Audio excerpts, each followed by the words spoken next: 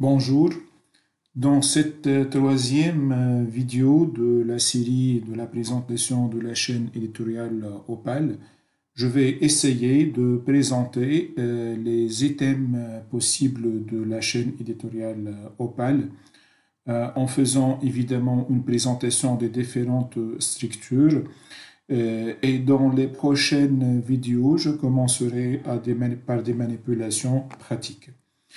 Euh, premièrement, la structure euh, des contenus de la présentation ou bien de, Opal est basée en fait sur la structure suivante que vous voyez maintenant devant vous.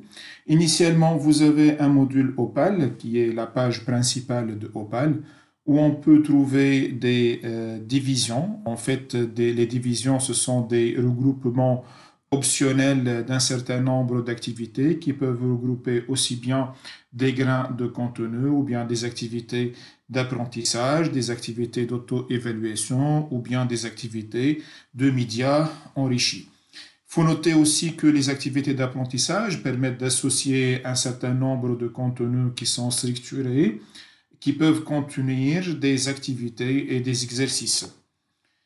On va aussi trouver euh, au niveau des activités d'auto-évaluation plusieurs types d'auto-évaluation. Évidemment, là, on parle d'auto-évaluation, c'est-à-dire les scores ou bien les résultats que peuvent avoir les apprenants ne peuvent pas être directement visibles que si en faisant une, un interfaçage avec d'autres applications. Au niveau de l'auto-évaluation, nous pouvons trouver des questions à choix multiples, des questions graphiques, euh, des questions euh, à choix unique aussi, des questions de type catégorisation, euh, des textes à trous, et, etc.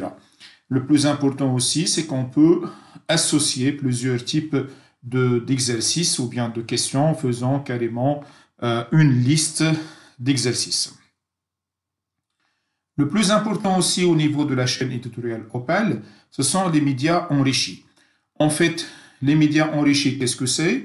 Ce sont des, euh, des éléments, c'est-à-dire qui sont basés principalement sur le travail sur les vidéos ou bien sur les bandes sonores, où on peut structurer un élément de contenu vidéo en le segmentant, en faisant des balises pédagogiques. On peut mettre des textes euh, qui peuvent enrichir les vidéos. On peut mettre aussi des graphiques, des explications, des formules si on souhaite.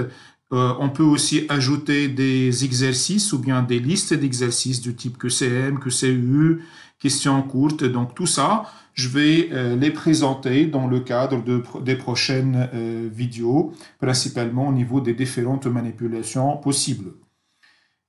maintenant, nous allons parler de l'organisation du plan d'un module.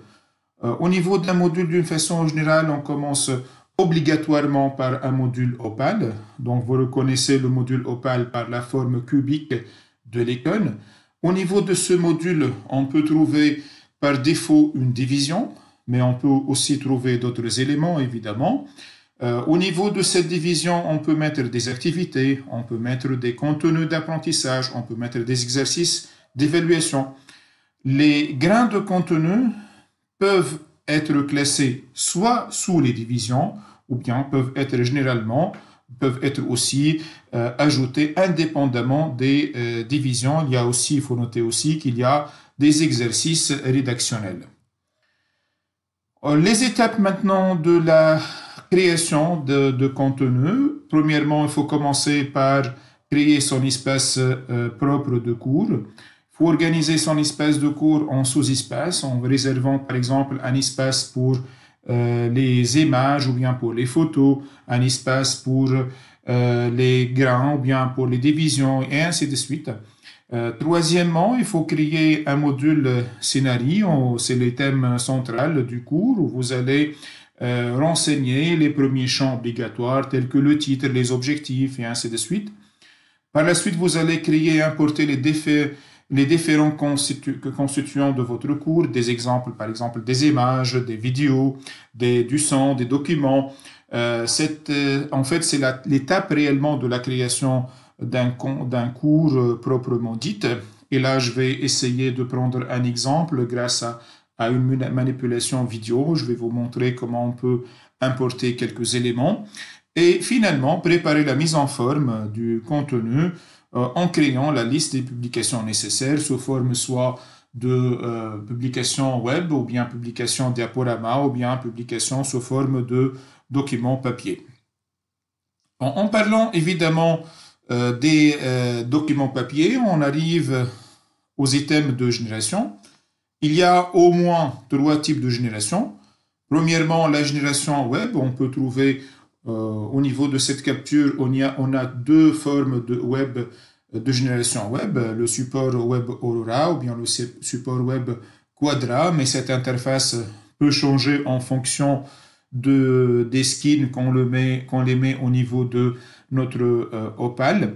Euh, on peut évidemment faire la génération, comme on peut consulter ou bien on peut télécharger, on peut aussi révéler en fonction de nos besoins au niveau de la génération Il faut noter aussi que la chose aussi la plus importante au niveau de Opal, c'est qu'on peut générer la version SCORM directement à partir de notre euh, application euh, Opal. Cette version SCORM peut être euh, intégrée directement au niveau d'une plateforme d'une façon générale, en particulier la plateforme Moodle. Euh, je vais parler évidemment au niveau de, des prochaines vidéos de l'avantage de ces versions SCRM au niveau de l'intégration avec la plateforme Moodle en particulier.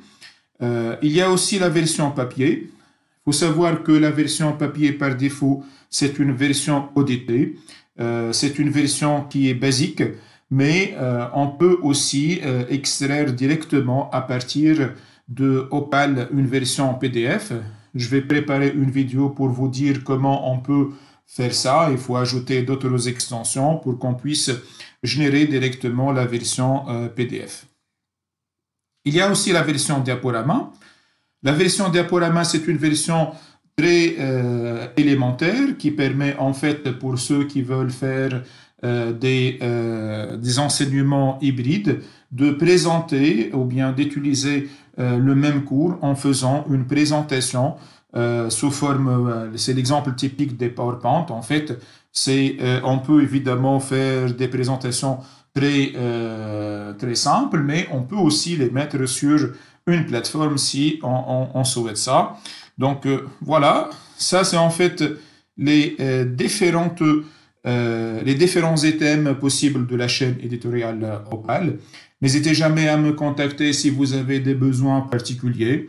Je présenterai d'autres vidéos pour vous expliquer encore davantage les manipulations de la chaîne éditoriale Opal. Je vous, je vous remercie.